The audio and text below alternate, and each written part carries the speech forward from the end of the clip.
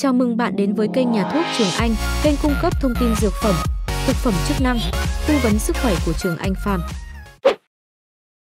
Nội dung trong video này sẽ tìm hiểu về sản phẩm Fran Túc do TPP Frank sản xuất. Quý độc giả thân mến, để sử dụng thuốc an toàn và hiệu quả, hãy tuân thủ đúng theo chỉ định từ bác sĩ hoặc tìm hiểu hướng dẫn sử dụng an toàn từ dược sĩ. Không tự ý sử dụng thuốc hoặc sử dụng thuốc bị chống chỉ định, vì điều này có thể gây hại cho sức khỏe.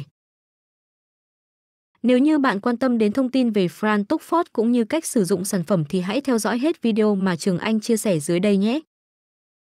Sản phẩm Fran Túc có thành phần là Eucopton 100mg, mến thon 0,5mg, tinh dầu gừng 0,75mg, tinh dầu tần 0,36mg, tinh dầu tràm 50mg Fran Túc được bào chế dưới dạng viên uống.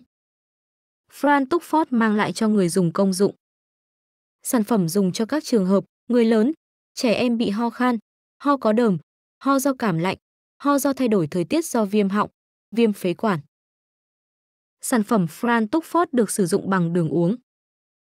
Liều lượng của Fran Tuckford được nhà sản xuất khuyên dùng như sau: người lớn uống 1 đến 2 viên trên lần, uống 2 đến 3 lần trên ngày. Trẻ trên 3 tuổi nhai một viên trên lần, uống ngày 2 lần. Chống chỉ định khi sử dụng Fran Tuckford, không dùng cho người mẫn cảm với thành phần nào của sản phẩm.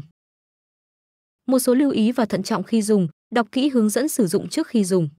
Sản phẩm này không phải là thuốc không có tác dụng thay thế thuốc chữa bệnh.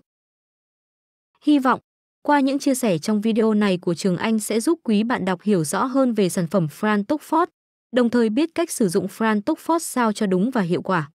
Nếu có thắc mắc khác, hãy liên hệ tới bác sĩ điều trị để được tư vấn kỹ hơn nhé. Hãy là người tiêu dùng thông thái trong việc sử dụng dược phẩm để đảm bảo sức khỏe của chính bạn và người thân. Cảm ơn bạn đã theo dõi video.